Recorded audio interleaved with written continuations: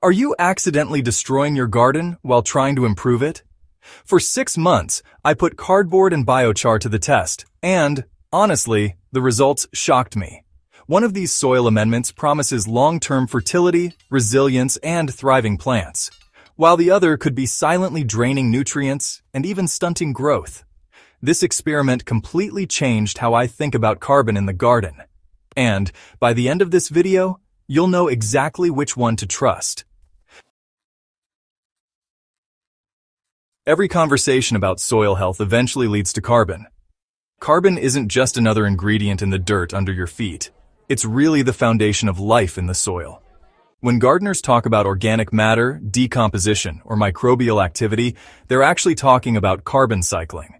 Carbon is what fuels the microbial workforce underground, stabilizes nutrients, and creates the structure that plants rely on. But here's the catch. Not all carbon is created equal. Some forms like cardboard break down quickly and can disrupt soil balance in the process. Others, like biochar, can remain stable for centuries, acting as a reservoir for water, nutrients, and microbial life. My six-month trial comparing the two revealed the critical differences between short-term and long-term carbon strategies. Cardboard is everywhere, free, and often promoted as a clever way to recycle while improving your garden. Many gardeners use it for sheet mulching, laying down large pieces to suppress weeds, block sunlight, and create a foundation for new beds. At first glance, it looks like the perfect zero-cost solution. During the first weeks of my trial, cardboard did exactly what it promised.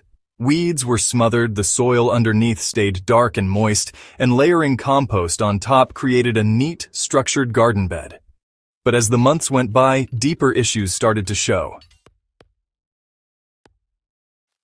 Cardboard breaks down inconsistently. In warm, moist climates, it may decompose in under a year, but in cooler or drier conditions, thick cardboard can persist well beyond a season, creating these compact layers that suffocate soil. Instead of promoting microbial diversity, it sometimes did the opposite, creating anaerobic pockets beneath its surface. That lack of oxygen discouraged the beneficial organisms my plants depend on. Even more concerning was the nitrogen drawdown. As the cardboard broke down, soil microbes consumed nitrogen to process its carbon-rich fibers. That nitrogen didn't go to my plants. Instead, it was locked away temporarily, leaving crops yellowed, stunted, and underperforming at the very moment they needed nutrients most. To counter this, I had to apply extra nitrogen in the form of compost tea, one cup of compost steeped in one gallon of water, poured directly at the base of plants every two weeks, to keep the balance. Finally, not all cardboard is safe. Many boxes contain glues, coatings, or inks. While plain brown cardboard is usually fine, gardeners often use whatever's at hand, which risks introducing unwanted chemicals into otherwise healthy soil. By month six, I realized cardboard's real role it's a short-term tool for suppressing weeds and establishing new beds, but not a long-term soil builder.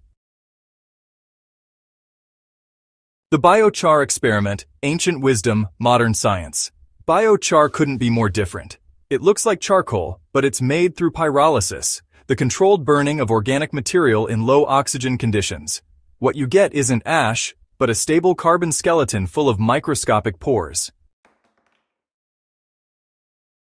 From the very first application, I noticed a change.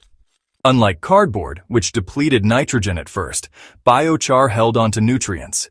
That's because its porous structure acts like a magnet for minerals and fertilizers, preventing them from washing away during rain or irrigation. When I pre-charged it, mixing one pound of biochar with two gallons of water and one cup of compost, letting it sit for 48 hours, it became a nutrient-rich sponge, ready to release goodness back into the soil. The benefits didn't stop at nutrients, though. Biochar transformed the physical structure of the soil itself. In sandy areas of my garden, it held moisture like a sponge, preventing dry spells from stressing the plants. In clay-heavy beds, it improved drainage, breaking up compaction and letting air reach plant roots. But, you know, the most impressive result was microbial activity. When I looked closely, I realized biochar wasn't just improving the soil. it was creating habitat. Those countless microscopic pores became homes for fungi, bacteria, and beneficial microbes that built thriving underground communities. By month six, the beds with biochar weren't just surviving, they were visibly outperforming the cardboard plots in growth, resilience, and yield. You know, at first glance, cardboard feels unbeatable. It's free and always available, right? But here's the hidden cost. It's temporary, and you have to keep reapplying it. Every new season means more boxes, more labor, and, honestly, more supplementation to fix its nitrogen imbalance. Over time, those hidden costs really add up. Now, biochar, on the other hand, does carry an upfront price, but it's a one-time investment. Properly inoculated, it stays in the soil for decades, even centuries. Each season builds on the last, with richer microbial activity, better nutrient retention, and improved soil structure. By the end of my six-month trial, it was clear cardboard saves money today, but biochar saves your soil tomorrow. So, the big lesson is this. Cardboard and biochar aren't interchangeable. Cardboard is a temporary solution for weed suppression or bed establishment.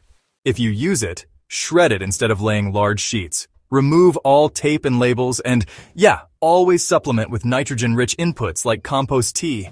Expect it to decompose unevenly and plan to replace it regularly. Biochar, in contrast, is a soil-building powerhouse. Before applying, always charge it with compost or liquid fertilizer to prevent initial nutrient lockup. A simple mix of one pound of biochar, one gallon of water, and one cup of compost works perfectly. Once in the soil, it continually improves fertility, moisture balance, and microbial life season after season.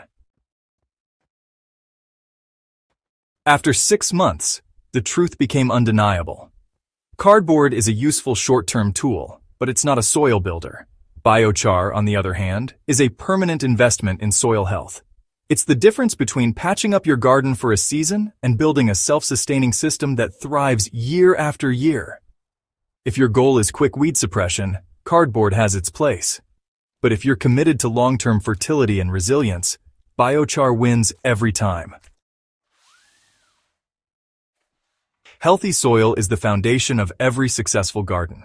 And after this experiment, I can say with confidence that biochar is one of the most powerful tools we have for regenerative soil building. It doesn't just fix problems for a season, it creates the conditions for your garden to get better with time. If you found this video valuable, hit subscribe and share it with fellow growers who care about long-term soil health. Together, we can build gardens and a planet that thrive for generations.